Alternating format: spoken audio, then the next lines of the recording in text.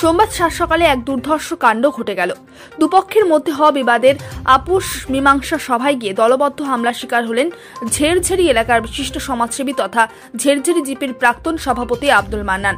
বর্তমানে তিনি গুরুতর আহত অবস্থায় শিলচরের একটি বেসরকারি হাসপাতালে চিকিৎসাধীন রয়েছেন। ঘটনার বিবরণে প্রকাশ, গত শনিবার কাটমনি এলাকার ঝেরঝেরি জিপি মানিকছড়াই গ্রামের আজির উদ্দিন ও তার পড়শি মাখন মিয়া দুটি পরিবারের মধ্যে বিবাদ হয়। এতে দুপক্ষকে একত্রিত করে সৃষ্ট সমস্যার আপোষ মীমাংসার উদ্দেশ্যে গ্রামের বিশিষ্ট ব্যক্তি মজির উদ্দিন আব্দুল মান্নান, হাছান উদ্দিন আব্দুল ছত্তার, আজমত আলী সহ প্রাক্তন জিপির সভাপতি আব্দুল মান্নান স্যার জমিনে উপস্থিত ছিলেন এবং আপোষ মীমাংসা নিয়ে আলোচনা চলাকালীন সময়ে আচমকা লাঠি সোটা নিয়ে মাখন মিয়া দল আজির উদ্দিনের পক্ষের ওপর ঝাঁপিয়ে পড়ে। এতে হামলাকারীরা এমন কাণ্ড না করতে বলাতে আচমকা মধ্যস্থতাকারীদের ওপর হামলা চালাতে শুরু করেন মাখন মিয়ার বাহিনী। এতে দুর্বৃত্তদের হামলায় আহত হন আব্দুল মান্নান। তার ওপর লাঠি দিয়ে হামলা চালাতে শুরু করে মাখন মিয়া। বদরুল ইসলাম, বিলাল আহমেদ, জয়নাল আহমেদ এবং গোলাপ আহমেরা। এতে তাদের লাঠির প্রহারে মাথা ফেটে রক্তকরণ হতে থাকে আব্দুল মান্নানের। সঙ্গে সঙ্গে জ্ঞান হারিয়ে মাটিতে লুটিয়ে পড়েন তিনি। তখন থেকে সাথে সাথে স্থানীয়রা উদ্ধার করে প্রথমে বাজারিছড়া হাসপাতালে নিয়ে যান। পরে এখান থেকে মাকুন্দা হাসপাতালে নিয়ে যাওয়া হয়। আঘাত গুরুতর থাকায় প্রাথমিক চিকিৎসার পর উন্নত চিকিৎসার জন্য এদিন বিকালেই তাকে শিলচর নিয়ে যাওয়া হয়। বর্তমানে সেখানেই তার চিকিৎসা চলছে বলে জানা গেছে।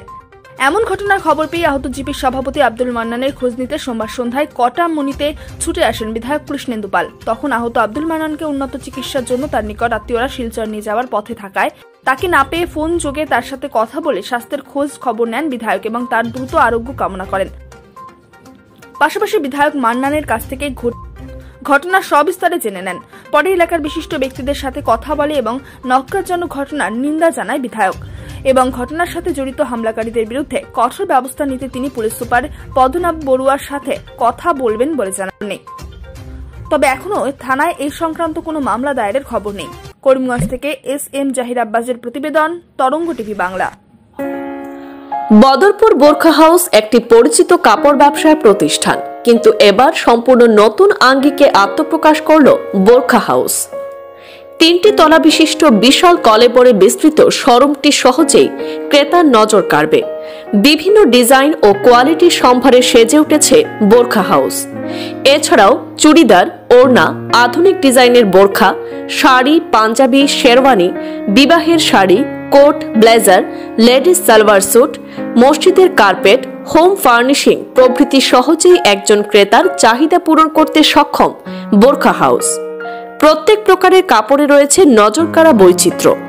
রয়েছে হজের যাবতীয় প্রয়োজনীয় সামগ্রী ও বিবাহের যাবতীয় কালেকশন। পাশাপাশি পুরুষেরাও বোরখা হাউসে অনায়াসী পেয়ে যাবেন তাদের পছন্দের পাঞ্জাবি, শুটিং ইত্যাদি।